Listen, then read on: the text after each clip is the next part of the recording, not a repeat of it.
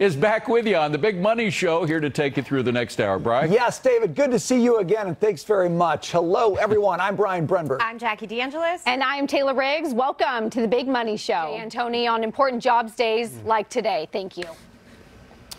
All right, joining us, now, you are bringing a heck of a lot of fight today. I love it. I uh, I hope a little bit of that fight can carry over to our Vikings this weekend hey, against the we've Giants. We've got the Giants on sa- on Sunday, Brian, and that doesn't look too good. So I got to bring something while we still can control it. I, I, I, think we need you on that offense for the Vikings, but that's for another day. Good to see you, sir. Thanks for Sign being me with up. us. See All ya. right. All right, and this him running for president, Right. which is really quite interesting. So we'll continue to watch that story. But of course, we've got a big. On loose on this one. Hillary Vaughn, Yeah. great report. Good to see you.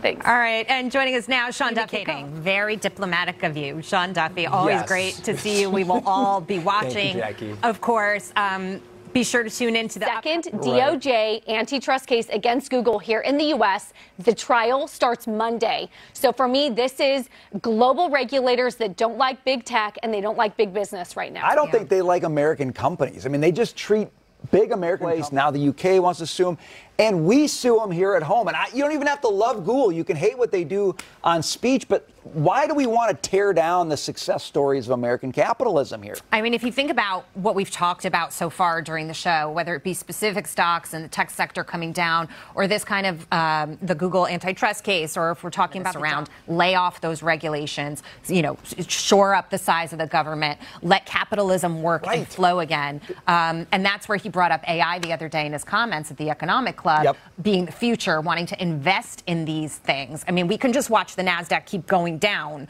if Kamala Harris is president, or we can try to revive Yeah, things. what company are they going to tee up next and take a swing at because they're supposed to be a monopoly? I have a good one for you in my next stock market check. Ooh, that's kind of like a Deep deep, tease. All right, coming up, Auntie.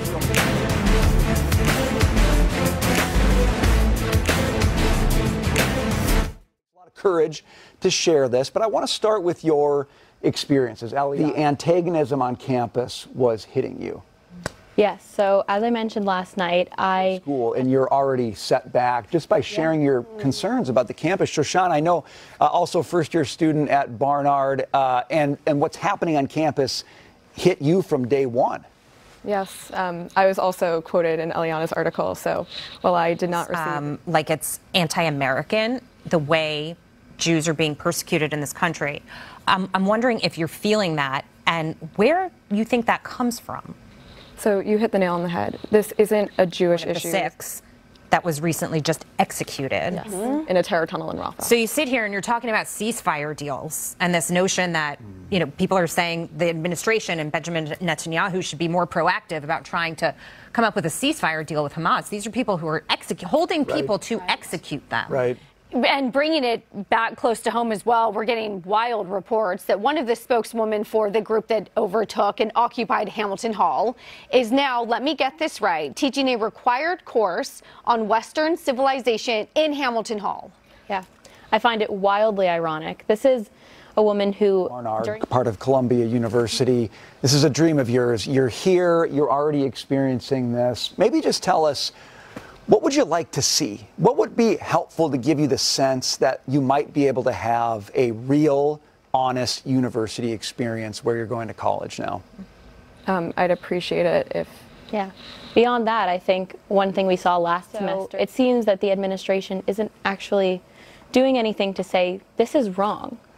Right. And with no consequences, you give them the green light to say, well, nothing's going to happen. It's kind of like the criminals in New York That's City. right. Nothing's going to happen, so I'll keep doing Yep. it. And New York City has a role in this as well. The AG, the mayor, et cetera. Uh, Eliana and Shoshana, thank you for being here. Thanks for your courage. And we do wish you the very best this year. We hope things do get better and quickly. Thanks. thank you for having me. Do. Meanwhile, Items that are up for sale, Yes. available, and they're all personal Reagan documents. Tell us what you've got here. They show the president and a religious response to the close to the passing of a close friend. And at the end, he says something which is just touching. It is touching. And, uh, you know, part of his character, if you've read about him or the movie that's out about him now, they really try to highlight the fact that he was like a good human being, um, which you can get the sentiment in these notes. But um, timing wise of this auction, is there, you know, we're 60 days out of an election. Um, That movie was just Many released. times I hear, hear anecdotes that people want to put their money in a good store of value, something that will grow my money and keep up with inflation. That's been art, NFTs, collectibles, special items.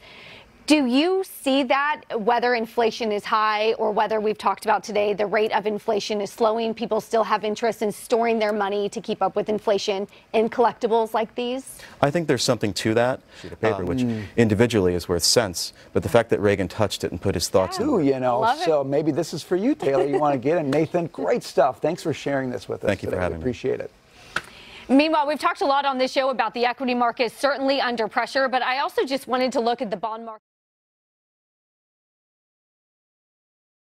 Remind everybody, I oh. don't watch football. I don't spend any money on this. So now, not only are they really charging crazy prices for you to be able to watch it, then you get to see all these shots of Taylor Swift at the Chiefs game in red knee highs and a midriff. Oh, you don't like that. I will You should. But you can get these games on the I asked phone. Taylor this. She wants to watch every game. The out of market game. You what, what are you like a fantasy football Never player? see a 49ers game unless it's like playoffs or something. Rarely. So that's why you need the full Okay. package to get all of the out of markets games. Go out and smell the roses in New York City and Go take a walk in the park and okay. Yeah. Fine. In two hours. Well, Charles can turn something around the next hour at least, and he knows 50 basis points might make sense. Charles, off to you. All right, we got a great, great show for everyone. Thank you all very much.